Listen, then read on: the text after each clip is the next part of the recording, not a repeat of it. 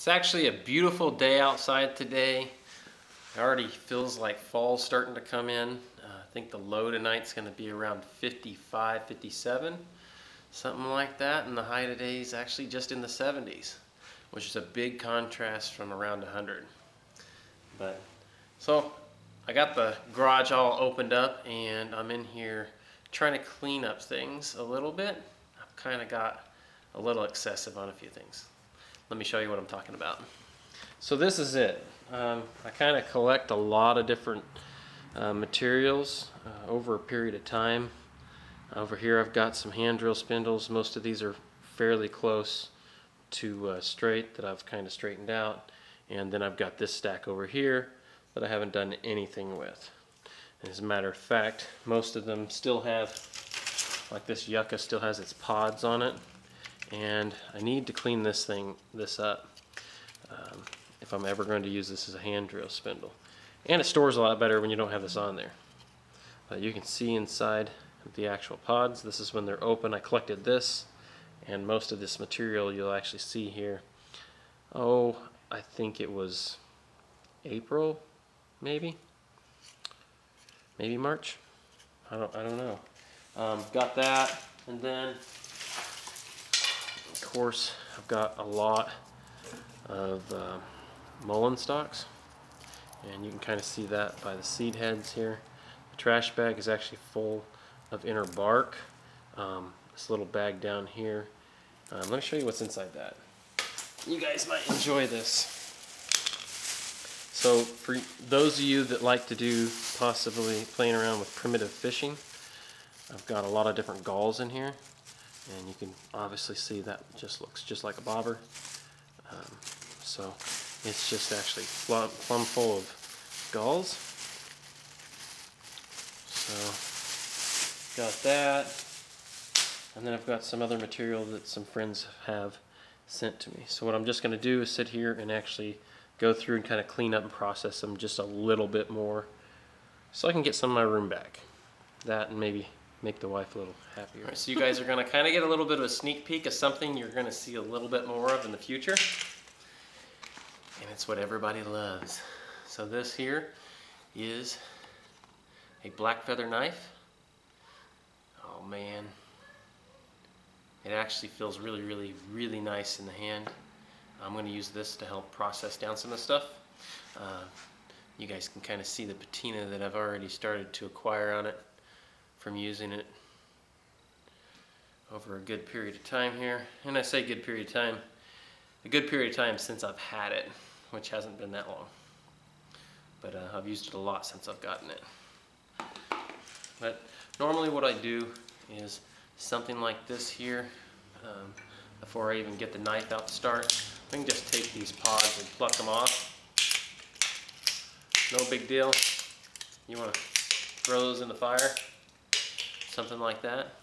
Uh, when I do collect a spindle like this, I actually take this spindle while this the stalk is actually growing, and I do this with every stalk. Um, it's not a hundred percent, you know, uh, success rate this way, but it does help out a ton. But the stalks are usually standing up in some form or another. They're not always usually completely vertical.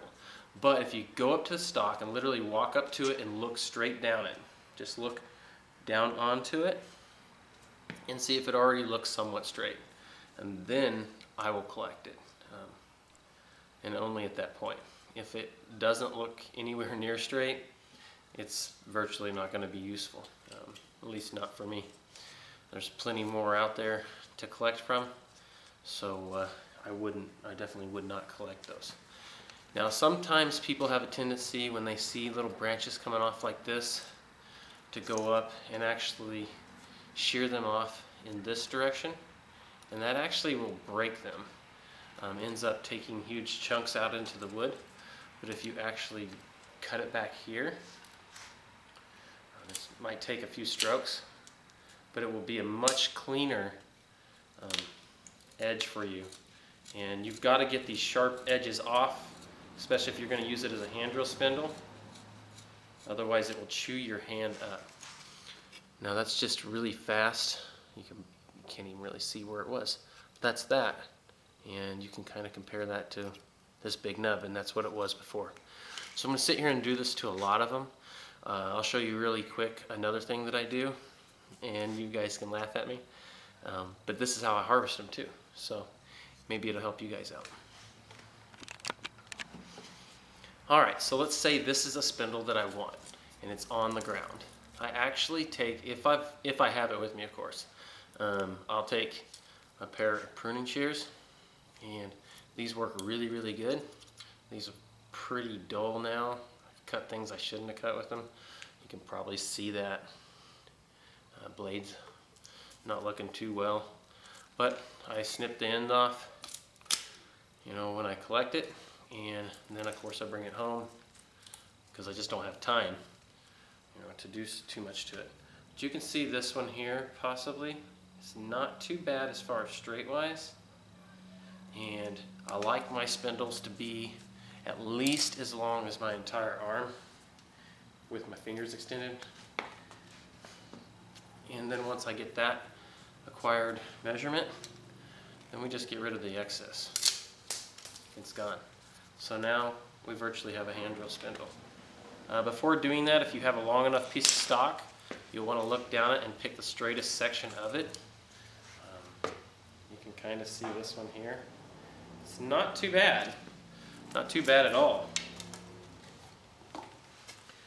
And the good thing about mullein is it seems to be a little bit easier to uh, clean up. You can really clean up those nodules. You can tell it's a nice day. Can you hear that motorcycle?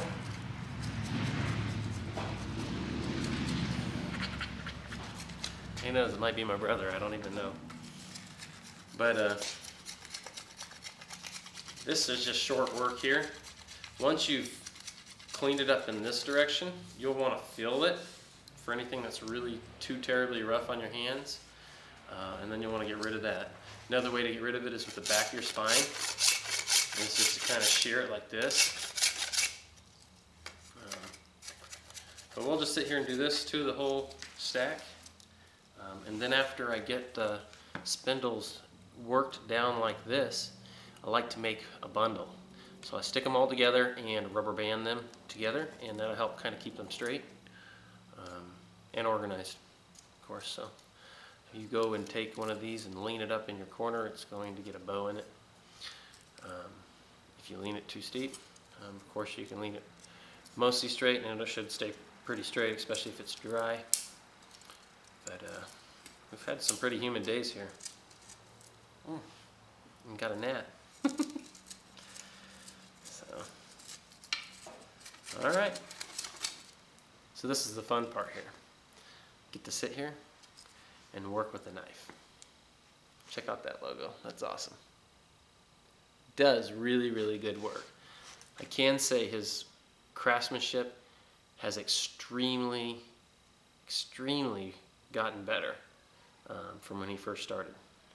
These, these things are top, top notch now. I mean, that is just, talk about love. Yeah. This one's got just a little bit of a, little bit of a belly there. But it's kind of a nice, you know, smaller, medium-ish knife.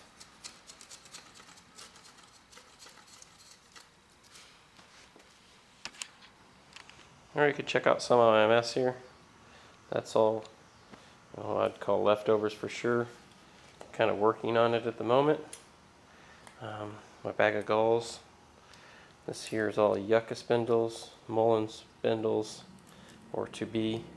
Um, it's cottonwood bark, and uh, oh, it's horseweed, elderberry, and some uh, velvet leaf. A little bit of yucca stuff.